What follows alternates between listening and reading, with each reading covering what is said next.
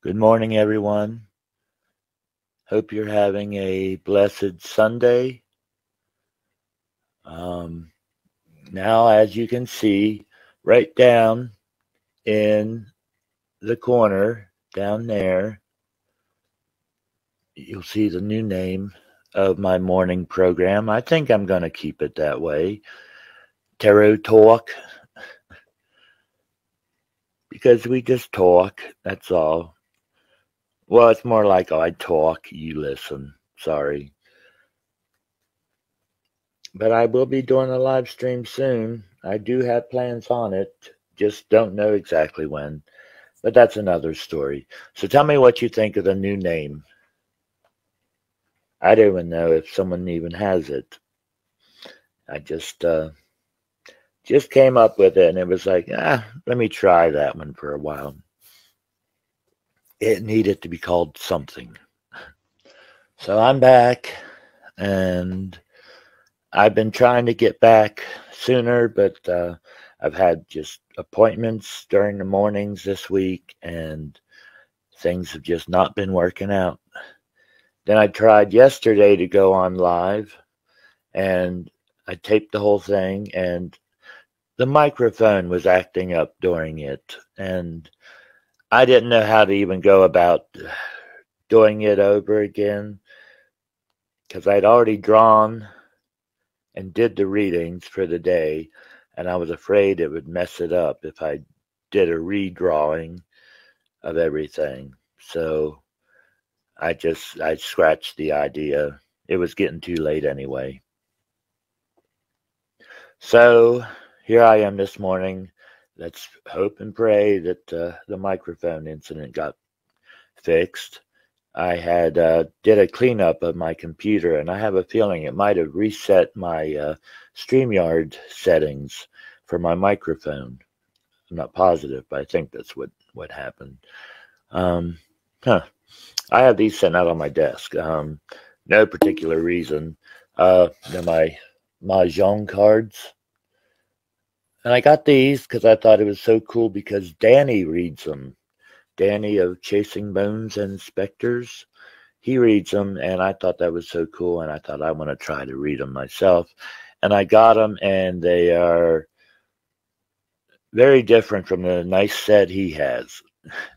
His set has pictures, and these are, uh, I don't know. I've showed them to you before they mostly have like little just little symbols on them and stuff and it's in chinese and i don't read chinese. So uh, i don't know. But i have found some places online that uh, helps identify them. So i might be able to go through and figure out which card means what and uh, i don't know uh, I'll work on it. It's going to take a while.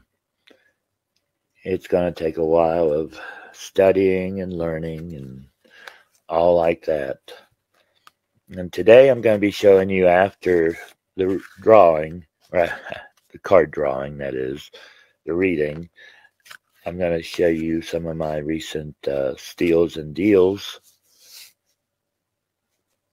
which I think you'll uh, you'll enjoy. Um, yeah, I'll tell you, after that handprint deal, first couple of days, I was still pretty shook up and uh, didn't want to. I just needed some time. And the, the thing about it was that uh, Okay, well, first of all, the handprint looked like blood, which I took as something bad.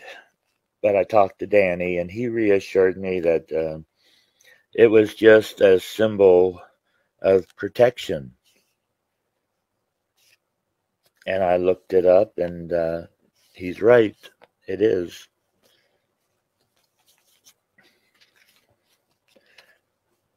Which I find a great relief. And uh, really, since the incident, I've just grown more curious about it. I went in and did a, a spirit box on it. And I didn't think I caught anything, but I was re listening to it yesterday somewhat in the background, and I caught some stuff after all. So I'm going to have to go through and see what I did catch.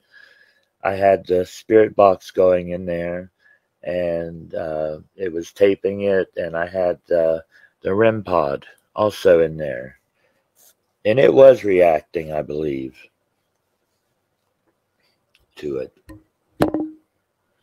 And I, I think the thing that really um, shook me up most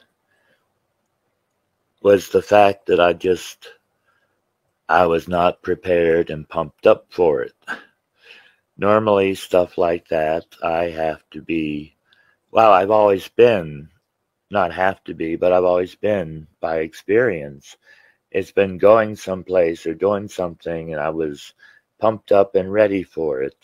Or else here around the house, I have had uh, a there's a little girl spirit spirit that goes around and she'll grab on my shirt and tap me on the shoulder and just do minor little things just to let me know she's still around. But she's never left a handprint like that. That was not her handprint.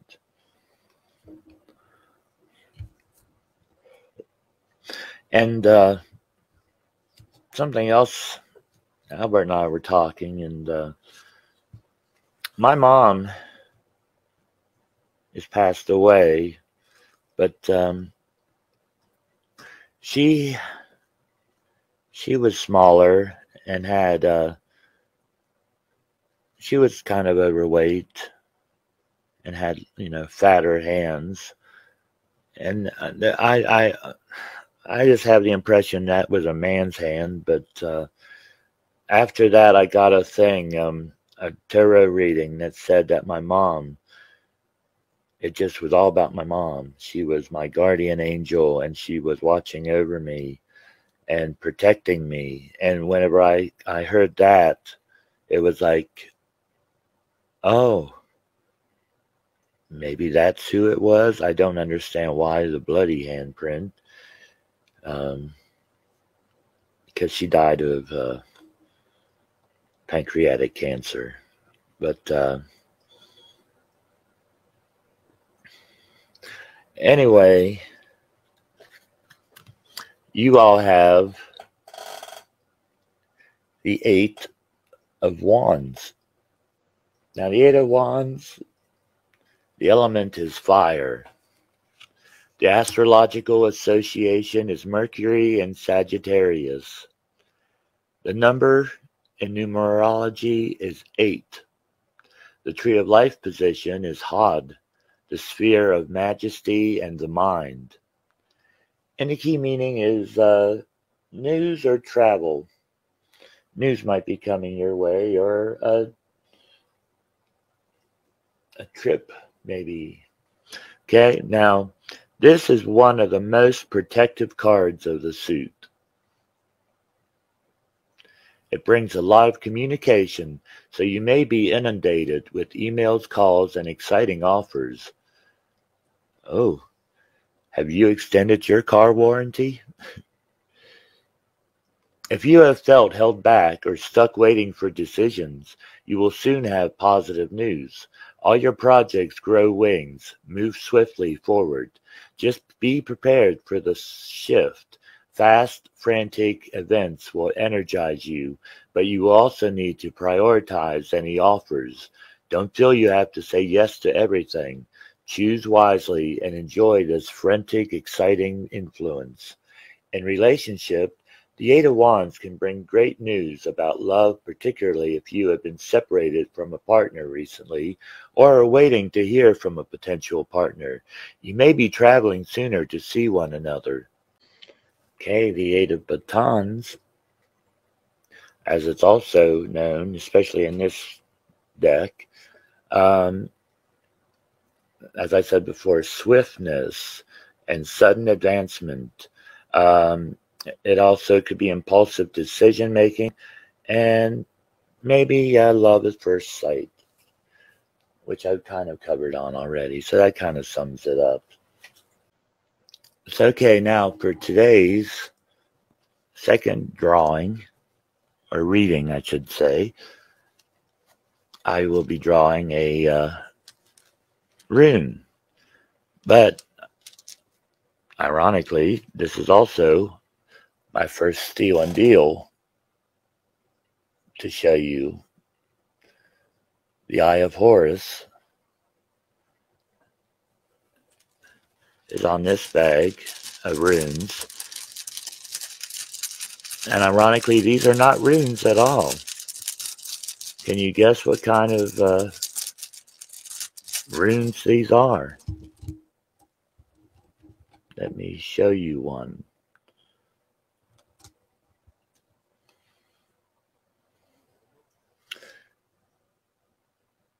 This one's not the greatest for a giveaway of what uh, I mean, not not a giveaway, but to tell you what. Uh, that's a pretty good one to tell you what these are.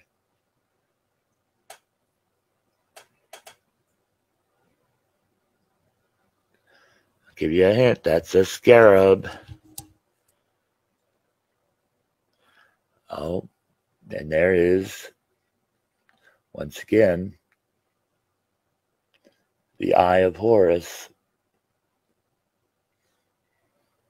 So can you guess what type of uh, runes these are? Pick another one. Ah, this one I have to have to be the giveaway.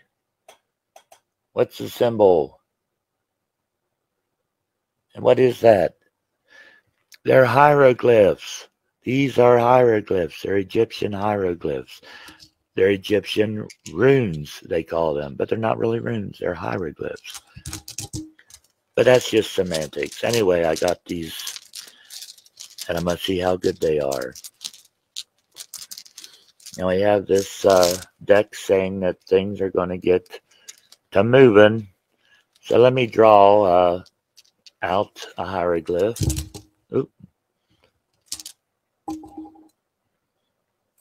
Okay, we got the scarab. Now I gotta cast it. Oh, it came up upside down.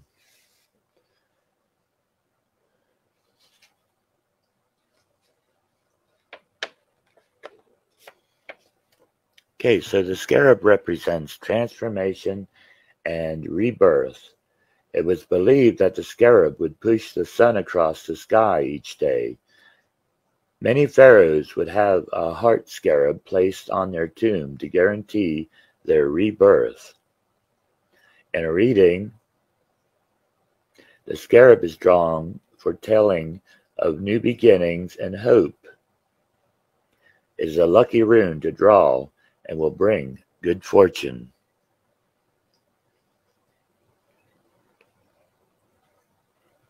But because it was upside down, I think it's going to take a little while.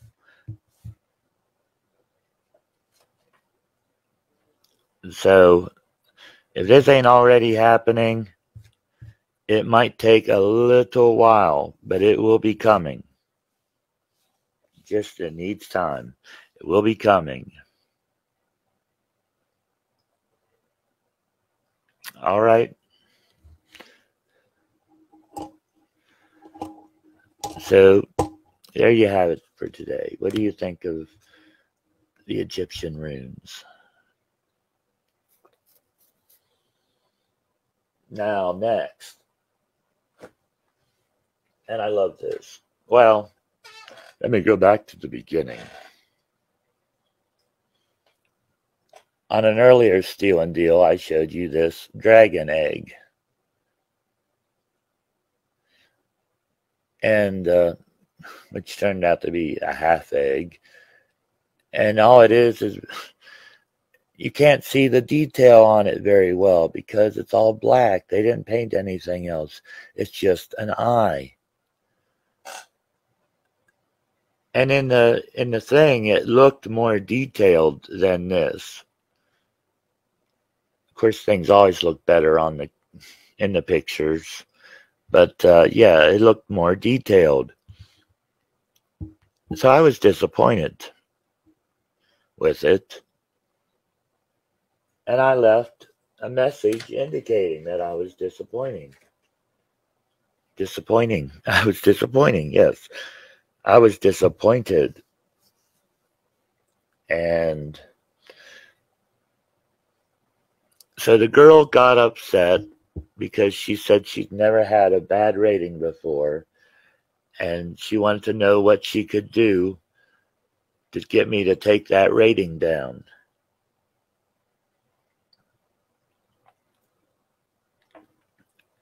Well, I said, you know, I'm sorry. Uh, I was just being honest, you know.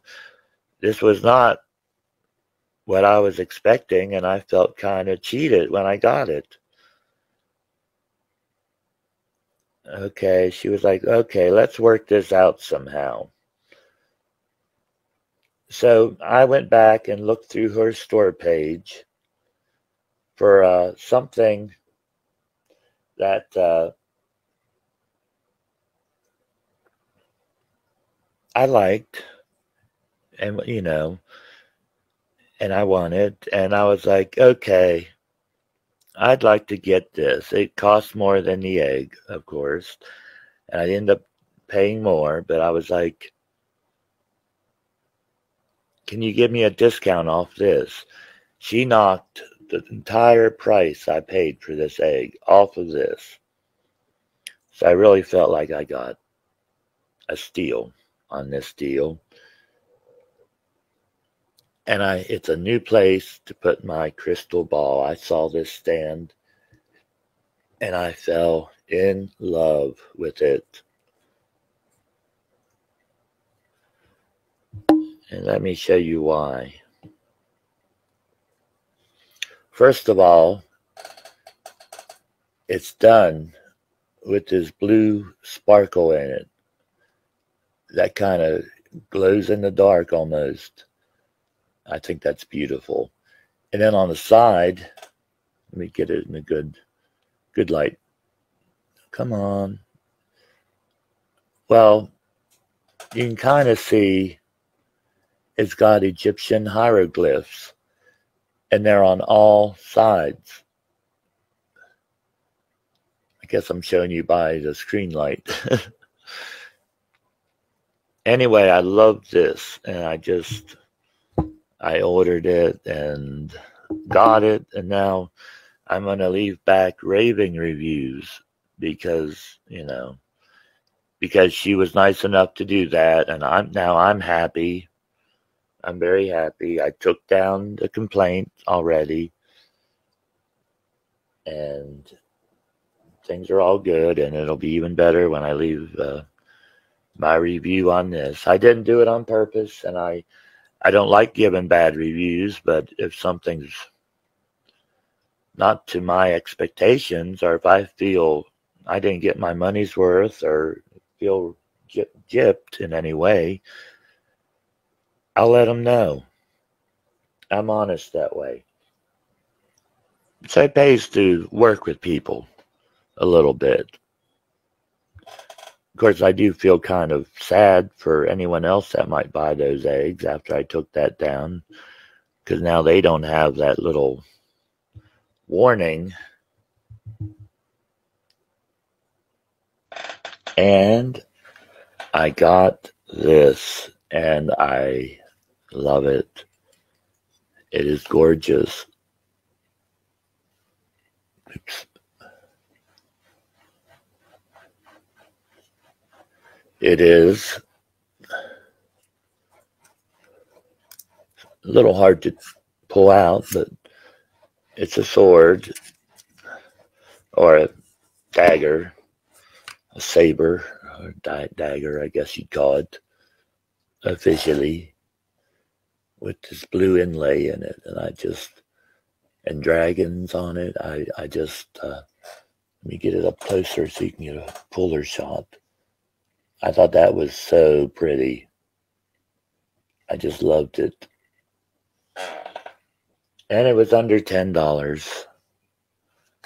So I could not not resist.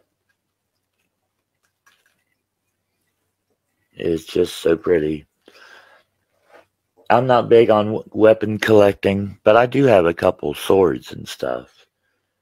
Um, some cool old, old looking swords. They're reproductions, but they're they look like ancient ones. Just like this one, I, I see like with this one, I see a uh, a big a big uh, Celtic influence. Celtic just depends on uh, which way you want to pronounce it. But with the the decorating, the style looks very Celtic, or maybe even uh, um, Viking. I could see that being Viking.